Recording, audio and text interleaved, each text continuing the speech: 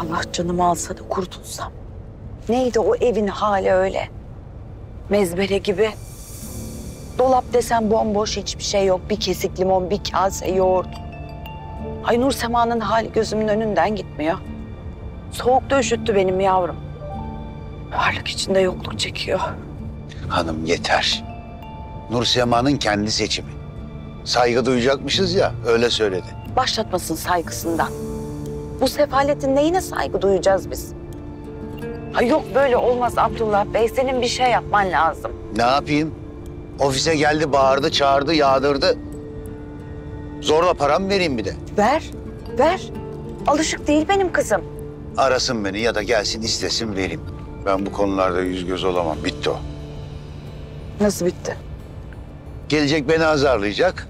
Kızını alamayacak bir de seni azarlayacak. Ben hala zorla yardım edeceğim. Kimse kusura bakmasın. Kaç yaşında adamım ben. Mutsuzsa gelsin söylesin. Elimden ne geliyorsa önüne sererim.